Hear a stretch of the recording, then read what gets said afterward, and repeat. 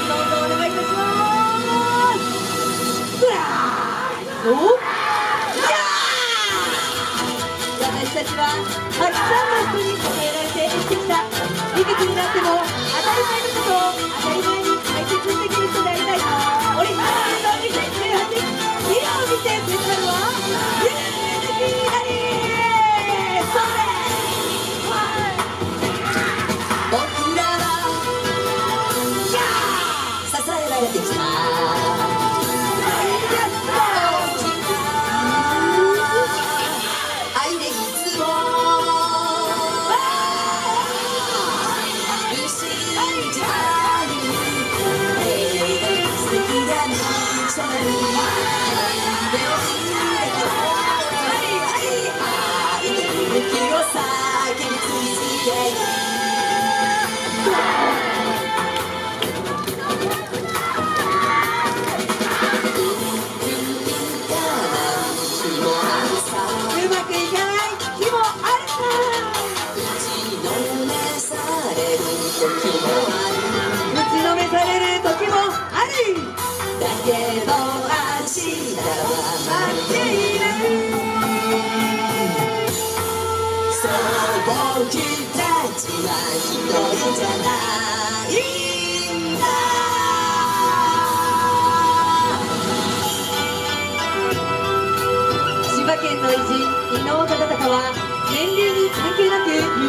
追い続けました。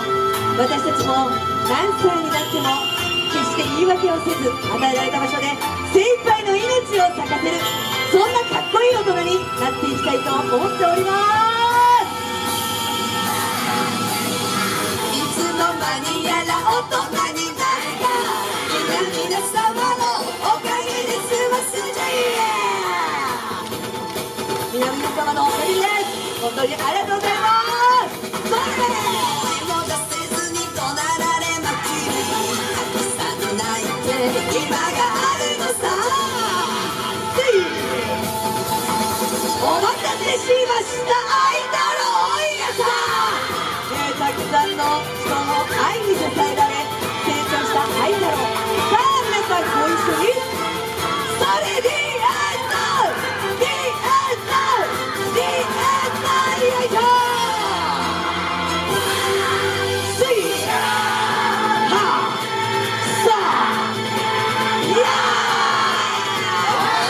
心に聞いてみる当たり前のこと。が